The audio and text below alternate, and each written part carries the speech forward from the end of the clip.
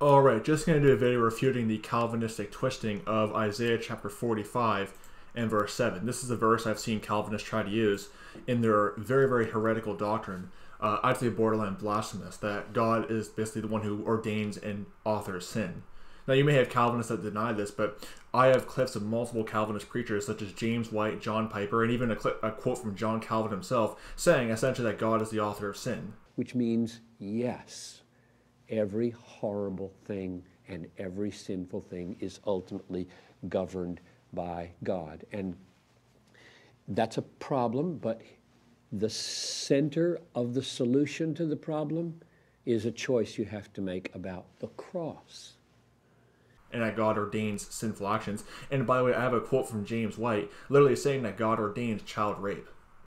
When a child is raped, is God responsible and did he decree that rape? If he didn't, then that rape is a, a, an element of meaningless evil that has no purpose. What I'm trying to point out by going so what to is Scripture, your answer there? Because I, I, I want to understand the answer I'm, to that question. I'm trying to go to Scripture to answer. The, yes, the but what reason, is the answer to the question that he just asked so easy, that we can understand what the answer I, is? I, I mentioned to him, yes, because if not, then it's meaningless and purposeless. And though God knew it was going to happen, he created without a purpose. I'm not joking.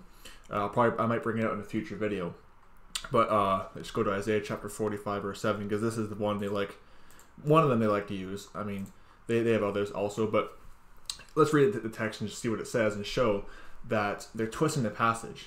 Okay, God is not the author of sin. I mean, that is just wicked to, to claim that. But of course, Calvinism is obviously of the devil. But Isaiah chapter 45, verse 7 I form the light and create darkness, I make peace and create evil.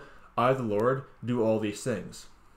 Now they home in on a statement, oh, I create evil, you know, but what's going on? Okay, first of all, in context, God is simply explaining that He created everything, and God is explaining His supremacy. You can see Isaiah 45, verse 5 to 6, Isaiah 45, verse 8 to 9, and Isaiah chapter 45, verse 12, all in the same context there. It should also be pointed out, too, that evil and sin are not always synonymous in Scripture, and they're examples of God repenting of doing evil. Okay, God is sinless. That's simple. Uh, Revelation chapter 15, verse 4 talks about that. God, God is the only one that is holy. So how can God repent of doing evil? If we're going to conflate the two together, that would mean that when God's repenting of doing evil, God's repenting of sin, which is obviously God cannot sin. Okay, Zephaniah chapter 3, verse 5 is another verse on that. Okay, but here are some examples of God repenting of doing evil. Okay, showing that evil and sin are not always synonymous. Exodus chapter 32, verse 14. Actually, I'll, I just want to make a correction. In this text, I'm going to read, God, God is not repenting of doing evil, but He's repenting of evil He was going to do to them. Okay, let me, let me just give a correction on that. Exodus chapter 32, verse 14. And the Lord repented of the evil which He thought to do unto His people. Is God repenting of sin? No, because evil and sin are not always synonymous, and we're going to show that later in the scriptures. Uh, Jonah chapter 3 and verse 10. And God saw their works, that they turned from their evil way, and God repented of the evil that he had said he, that he would do unto them, and he did it not.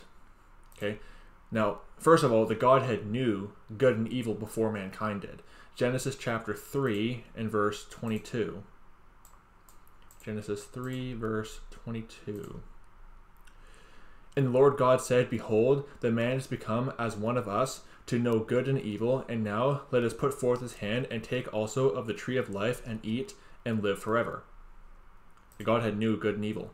Okay, how is sin defined? Okay, sin is defined as a transgression of God's law.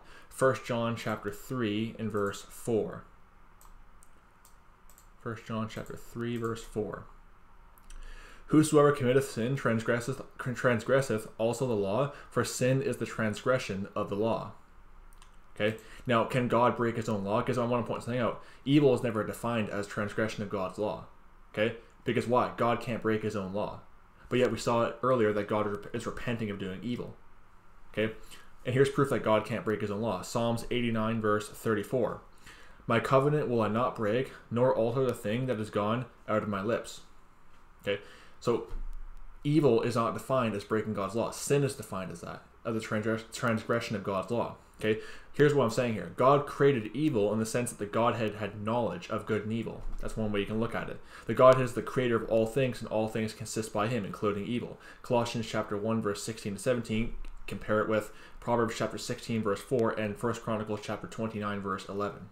Okay, so when it says in in verse uh, Isaiah 45 verse 7, "I create evil," it's not saying anything about God being the author of sin or God ordaining sinful actions. In fact, Scripture tells the opposite in Jeremiah chapter 7 verse 31, Jeremiah chapter 19 verse 5, and Jeremiah chapter 35 verse 32.